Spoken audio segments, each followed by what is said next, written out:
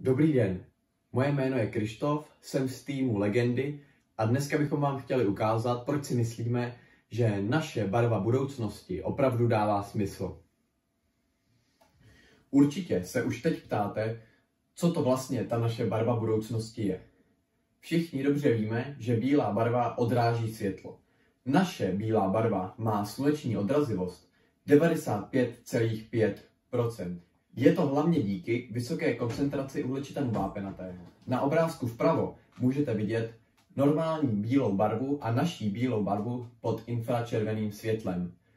P je namalováno naší barvou a zbytek je normální bílou barvou.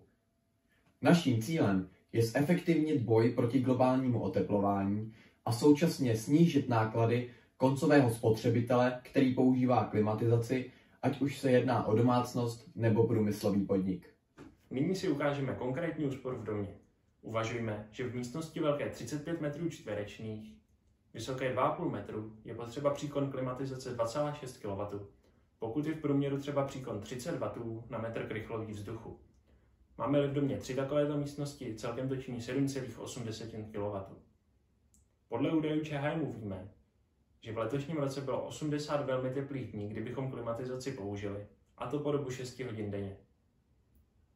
Z konzultace s panem Sochorem z Ministerstva průmyslu a obchodu víme, že teoretický nárůst energie potřebné k ochlazení vzduchu v místnosti o 1 stupeň je 8% Zde vidíme roční úsporu energie, pokud by bílá barva v průměru snižovala teplotu v domě o 1 stupeň Celsia. Ta činí zhruba 299,5 kWh a pokud bychom uvažovali průměrný emisní faktor výroby elektřiny, žádná celá 6 desetin kg CO2 na kWh, bylo by vyprodukováno teoreticky o 180 kg méně oxidu uhličitého.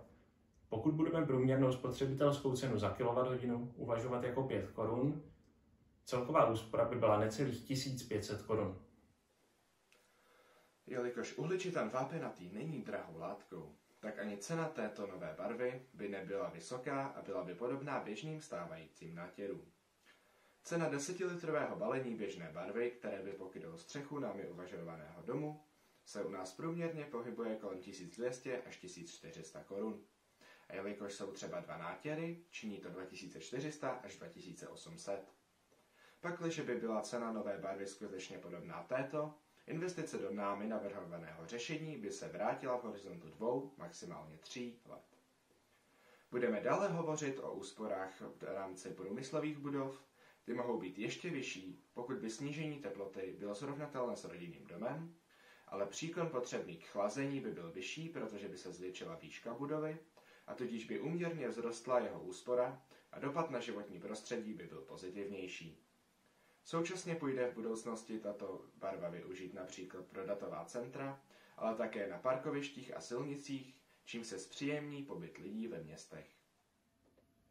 A proč by se tedy spotřebitelé měli přiklonit k našemu řešení? Realizace není náročná a ani při ní nemusíte sahat hluboko do kapsy. Investice se vám navíc brzy vrátí. A nevýhody naší barvy? Hlavní nevýhodou je estetické hledisko. Jestli nemáte rádi bílou barvu, máte smůlu. Dosavadní testy navíc ukazují, že naše bílá barva oproti normálním bílým barvám na střechy nebo na externí stěny domu není nijak jiná. V praxi to znamená, že vydrží stejně dlouho. Pevně tedy doufám, že náš projekt podpoříte a že se společně můžeme těšit na bílou budoucnost. Za tým Legendy se s vámi loučím.